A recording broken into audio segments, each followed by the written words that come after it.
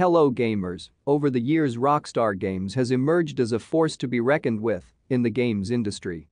Rockstar is the behemoth of this video games industry when it comes to creating unique and engaging single-player experiences. While not every single Rockstar-made game has been a big hit, the vast majority have done well.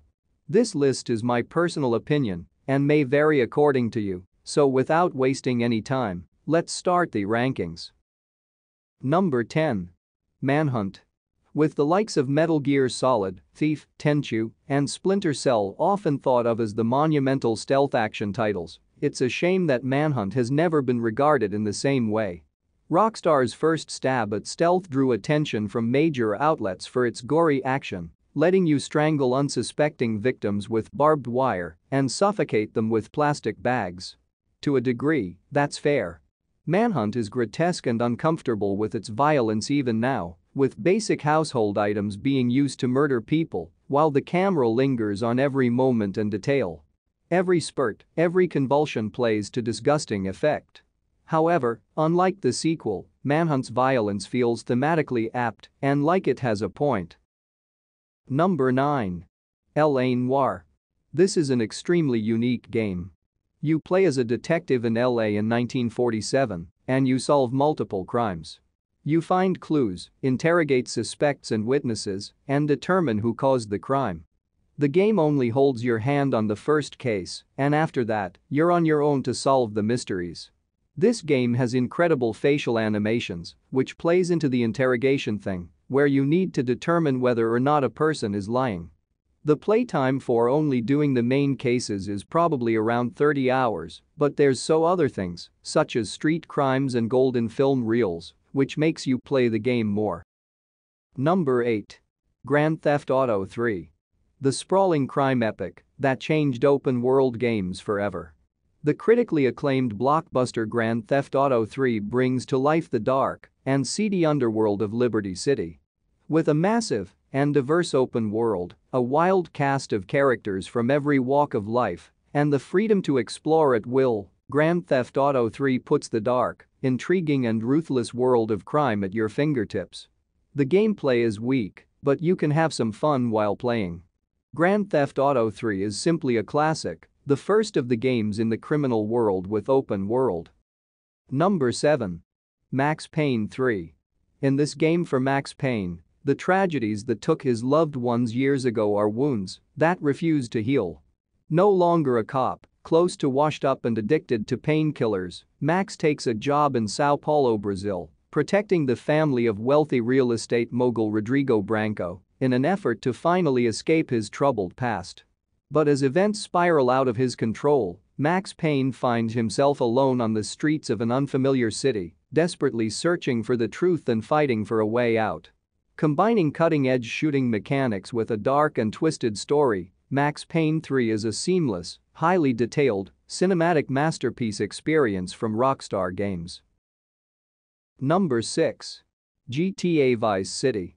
One of the best GTA ever made is undoubtedly Grand Theft Auto Vice City. A perfect blend of narrative and fun gameplay. GTA Vice City offered a compelling story about Tommy Vercetti's journey in the 1980s. It only took 9 months to develop this game and was a huge step up from GTA 3.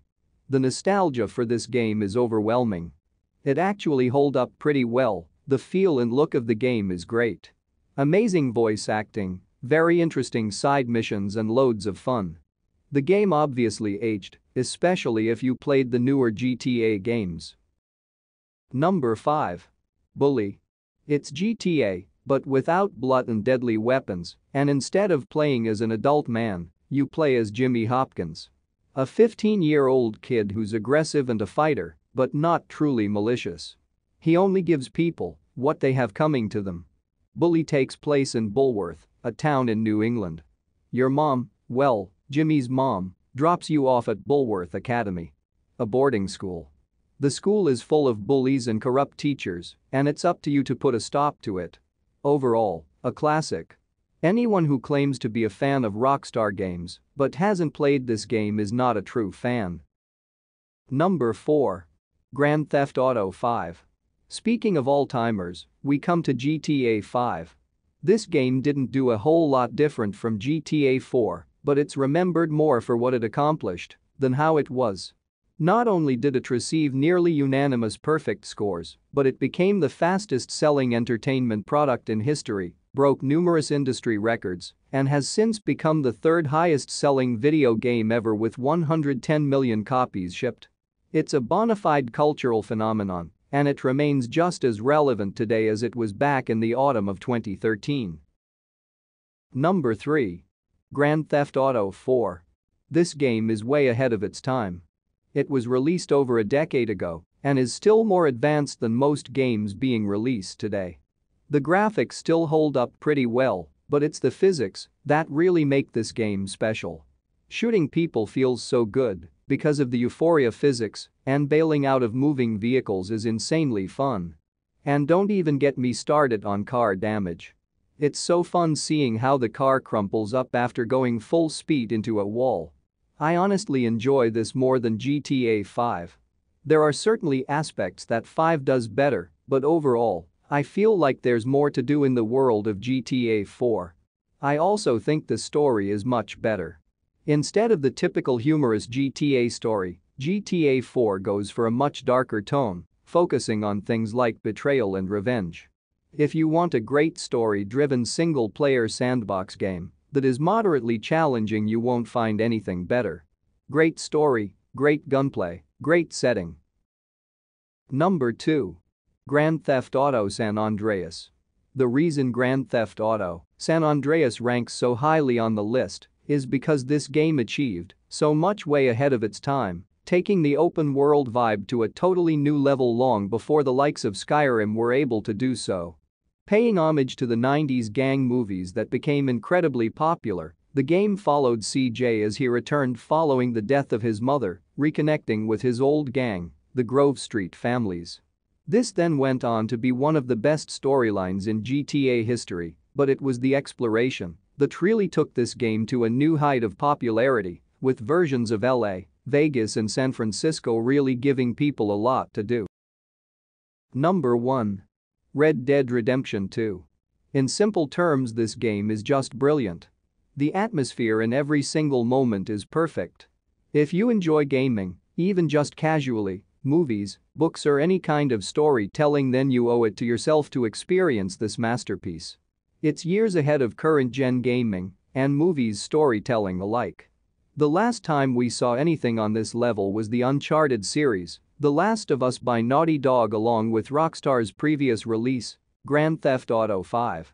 It starts out by letting you get used to the great experience you're about to explore by giving you 2 to 3 hours of a linear opener, Chapter 1, that not only explains the basic controls and feel, but also lays out the base of a great story to come.